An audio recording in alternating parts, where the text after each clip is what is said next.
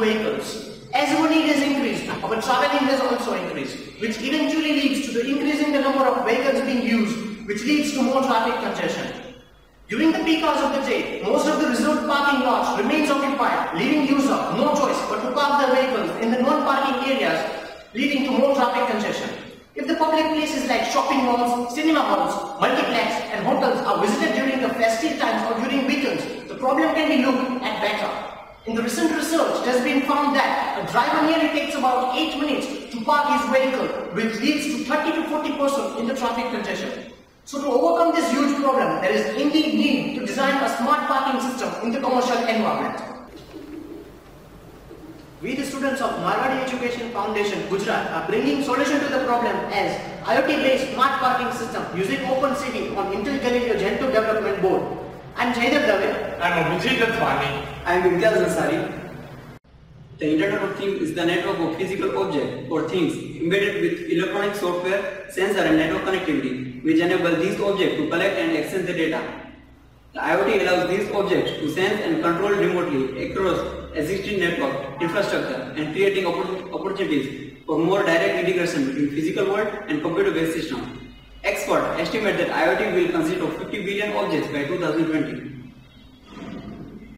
Here we have developed a prototype model of a parking lot with 8 parking slots with the dimensions as laid down by the US Department of Transport which is 10 feet by 20 feet for each parking slot. We have scaled down those dimensions on a scale of 1 is to 50 and prepared an AutoCAD design for the same.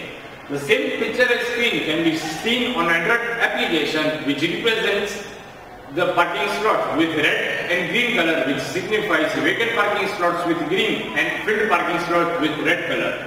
The system Galileo uses USB webcam fixed at a height to capture the images and supply it to the Intel Galileo board for processing. The Galileo is also connected with a Wi-Fi wireless dongle to provide internet connectivity for the same.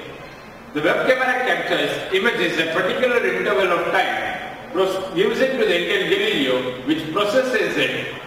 What it does is it captures the current image and the previous image taken earlier of an empty parking slot, calculates the difference for each parking slot on pixel basis.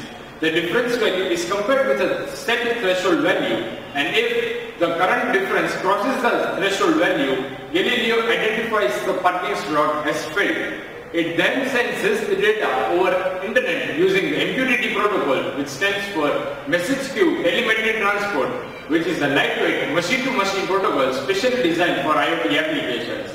We've established our own MQTT broker hosted on Amazon Web Services which is used for this project.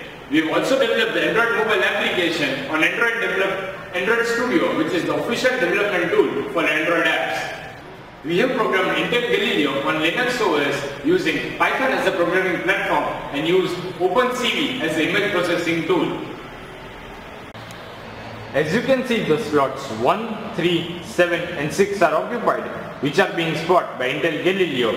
Accordingly, slots in the Android application are shown red. Now suppose if a user comes and chose to park at slot 4 and user from slot 3 moves away, again image would be captured by the webcam processed by the protocol to indicate the same on user's Android application.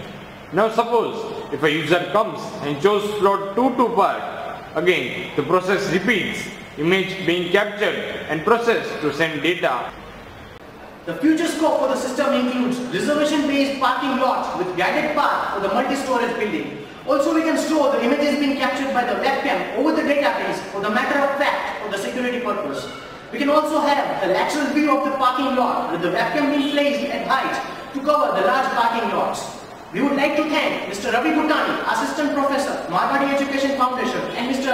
Akhil Shehrawat, FICE Academy, with whose constant guidance and support we have been able to develop this prototype. Hope you like our video presentation. Thanks for watching.